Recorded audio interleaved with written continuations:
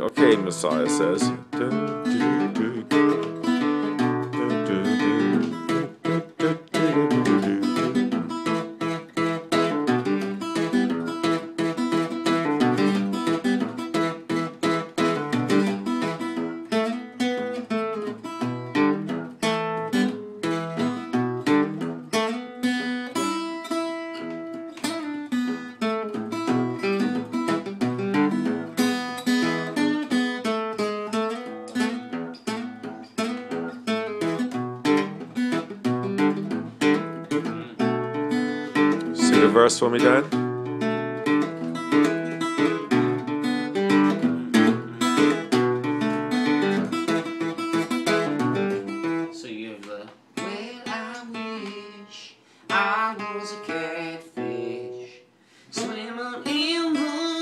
Deep blue sea.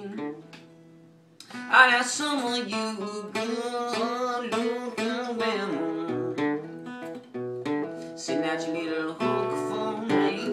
at your little hook for me, sitting at your little hook for me. So this part is um.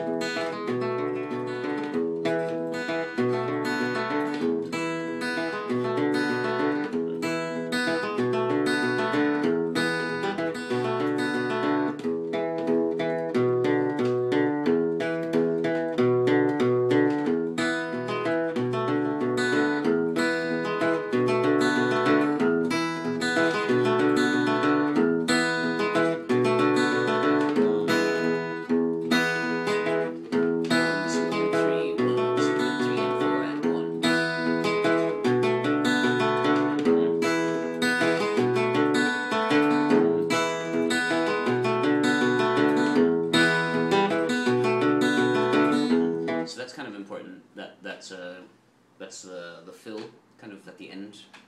Uh, send out your little hook for me. Send out your little hook for you can that you can repeat that you know as many times as you want. And also that's that's that's a good connective uh, rhythmic texture that's used in a lot of um, a lot of stuff. So it's one, one, two, three, and four. One, two, and three. One, two, and three, and four. One, two, and three, and four. Whoa. One and two and three and four. One, two, three and four. One and two and three and four. One, two, three and four. One and two and three and four. One, two, three and four. One and two and three. Oh my God. I actually counted. One, two, three and four. How do you force yourself to practice that? How do I how do I make myself practice that? Well, it's fun to play that. It's not hard. So do you do you, when you learn something like that, do you just like count it in your head as you do it? Do you try to play it without counting it first? I mean, I didn't really think about it. You don't think about it because you've been doing it so long. How when you were three, you did this first, right? You picked that one up when you were I mean, uh, you know, it's, four. uh, like uh, you learn to play. I learned to play songs. I didn't do rhythmic analysis of them when I was first learning. Were you as a newborn? Did they notice you doing things with your fingers in the, in very early on? So, No, I don't think so. Really? I was just a little boy. is that true? Mm. I don't think that's. I don't think that's. I think we should actually create a story. Well, you can make up a story if you like. Well, but you listen, man. Behind the, behind the the wall,